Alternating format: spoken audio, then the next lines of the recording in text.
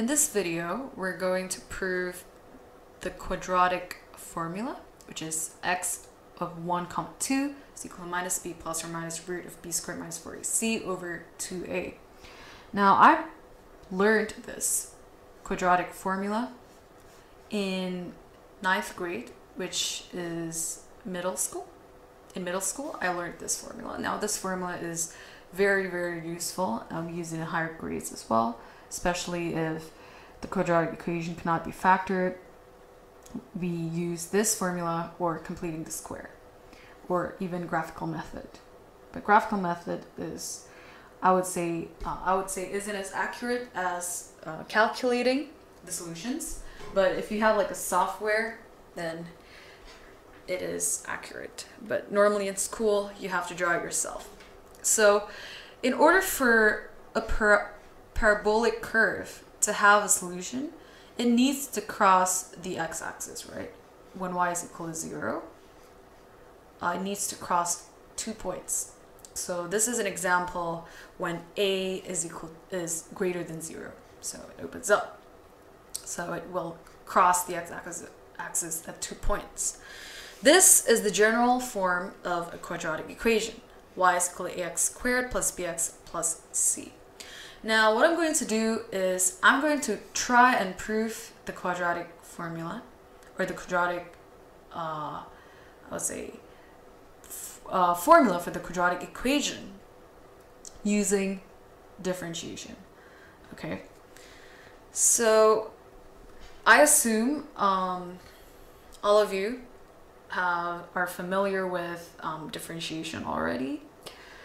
Um, so, in order to prove the quadratic formula, the first step we need to do is, of course, to differentiate the general form of a quadratic equation. So, so let's differentiate this whole thing.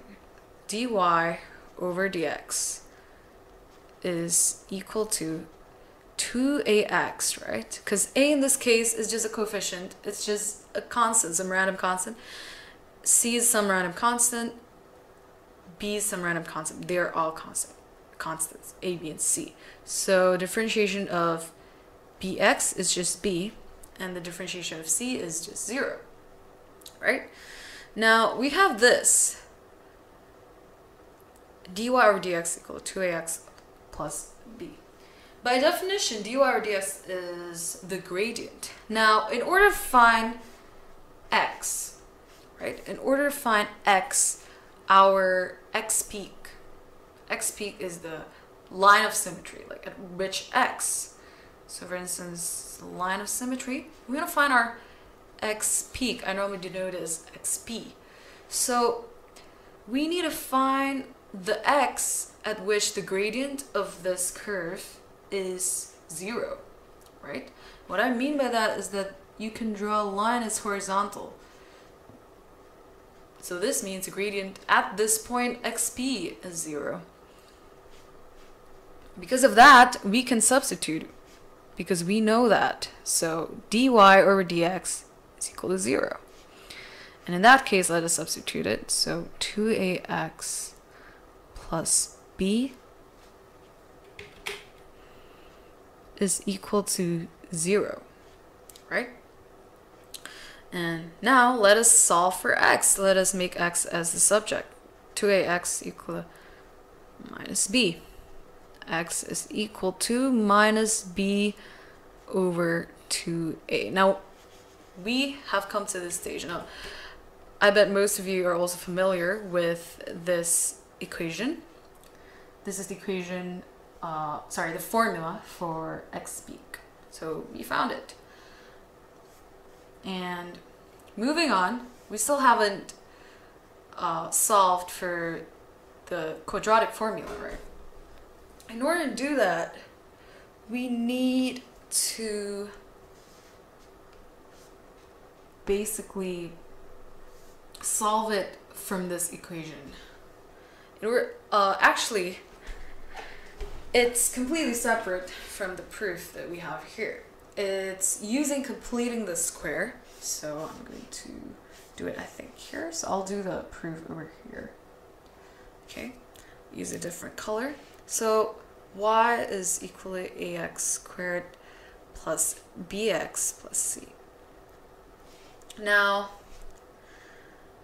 this, uh, I can't just, you know, in this form, because we have two degrees of x, we have x power 2, x squared, and x, I can't just make x as the subject, because there would still be an x in, you know, in the, on the other side. If I try to, you know, put x on one side, then there would still be another x. So in order to avoid this kind of problem, um, we use completing the square method. So completing the square method is pretty um, straightforward. How are we going to do that is, okay, so I'm just going to take out uh, a from all of them. We can just take it out from just one, uh, just two terms, um, the ones with the x. So y, I'm going to take out a, my coefficient of x squared, coefficient of the highest power, basically. We take it out from all, all of the terms. So factor it out, actually, and not take it out. factor it out. So plus b over a x plus c over a, right? We have this. Afterwards, y is equal to, actually, I'll just, one second.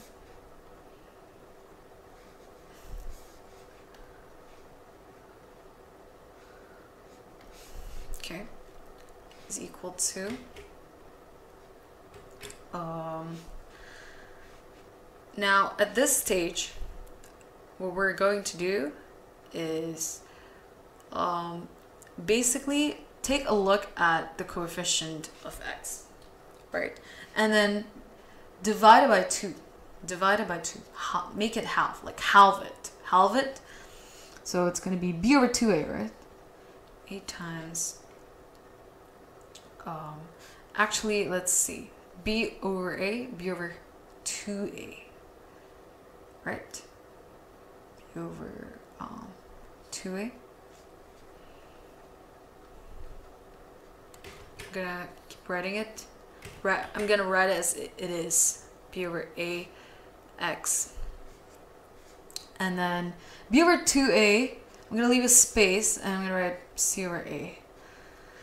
That space is for because we're completing the square. So b over a, half it, half of it is b over 2a. And what I'm going to do is I'm going to square it. I'm going to square b over 2a. b squared over 4a squared, right?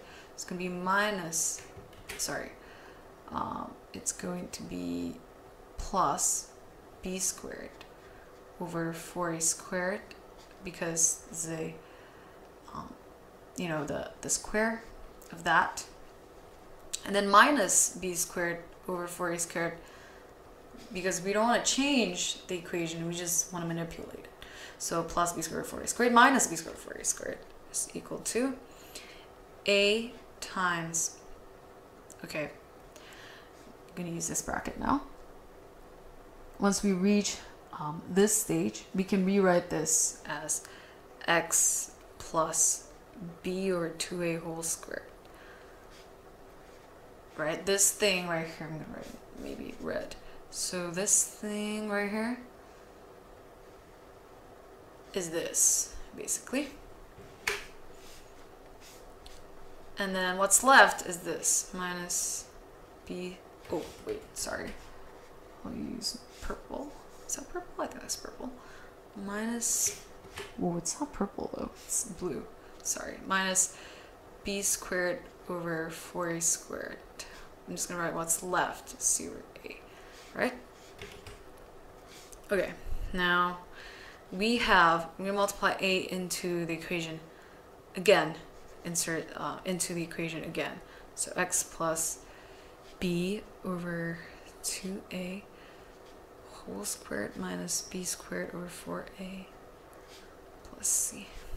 Okay, now after that, I'm going to solve for x. Okay? When y equals to 0.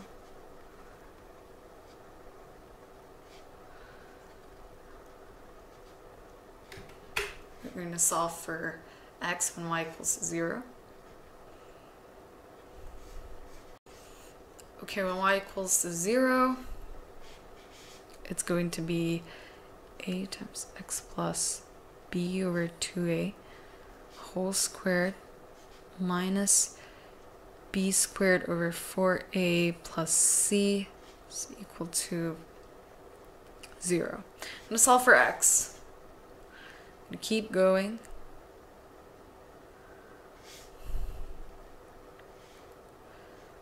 Um, let's bring these two terms to the other side, to the right hand side. b over 2a whole squared is equal to b squared over 4a minus c. Right? And then x plus b over 2a whole squared is equal to um, mul uh, multiply both sides by 1 over a. Write it in red. Multiply both sides by 1 over a. And then we get, okay, this cancel, right? These cancel. Um, and then b squared over, ooh, sorry, it's a different color again. b squared over 4a squared minus c over a. Okay. Now, um, I want to make the coefficient the same for these two terms. This is technically, this is equal to b squared over 4ac minus 4ac. Sorry, 4ac. Sorry about that. Um, I'm going to rewrite everything. 4a squared not 4ac, sorry, minus 4ac. So multiply the top by 4a, multiply the bottom by 4a, 4a squared. Right? So we're almost there. I'm just going to make this into 1. Combine this. Rewrite it. Actually, rewrite it. Combine it. Something like, ooh, sorry, 4a squared. That. And then, okay. And I'm going to square both sides. Square both sides. Plus or minus. Square both sides, remember? Always remember the uh, plus or minus. So plus or minus root root of b squared minus 4ac over 4a squared. This whole root stenciled down here. Okay. So afterwards, um, go here.